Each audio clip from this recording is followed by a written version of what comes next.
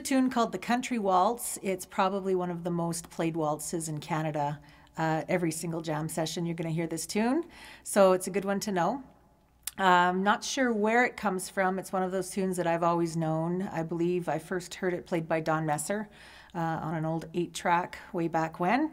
And uh, it's a great dance tune. And, and when I play, I'm all about playing for dancers. And I was told a long time ago to uh, pick out the best couple on the floor and play to them. So uh, my waltzes tend to have a bit of a bounce to them because those dancers always did this little bouncy thing when they would dance and uh, just makes it easier to play. So uh, just starting off, we're starting off with uh, a couple of pickup notes and then a little D arpeggio. So we are in the key of D major on this one. And the first little bit goes like this.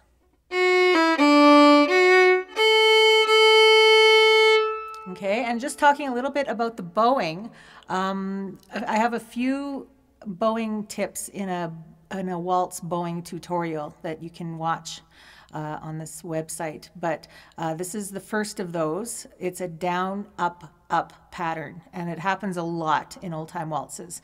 Uh, if you have three quarter notes in a bar, the first one down, the next two up. So we just did that. We went and then down, up, up. And that's as opposed to a slur, we don't want it sounding smooth. So a slur would be like this. That's not what we want there. So we want the down, up, up. So one more time. Okay, then moving on, we're going to continue on a downward scale and we're going to slur the next three notes on an up bow and do another arpeggio. So it's going to be like this.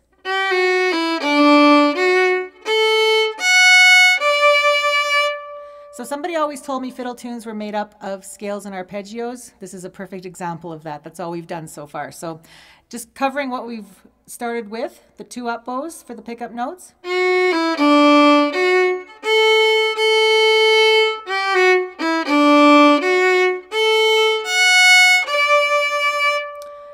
Uh, the next part is another little scale going up yeah, and then the next part goes. So kind of like a question and answer. To me, that's what that sounds like.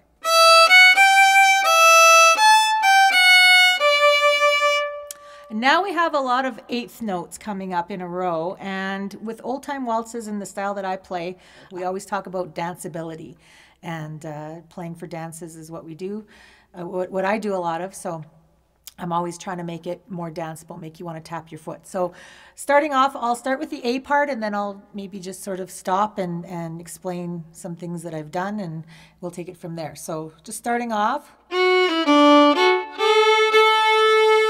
So right there, I'm just starting and droning with the open A over the D notes and then doing that fourth on the D with the open A so that knowing that four on D is an A, it's the same note as your open A, and maybe doing a little bit of a slide into there to make it sound a little bit grittier. So I'll do that one more time.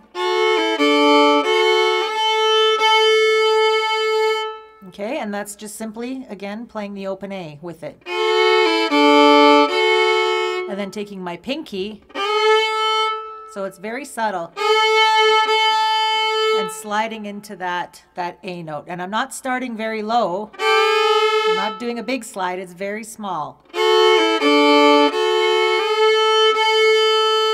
And you can maybe continue with the drone of the A.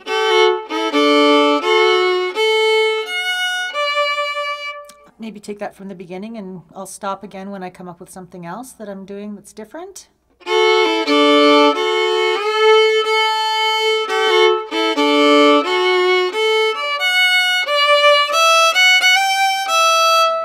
grace note there leading into the G.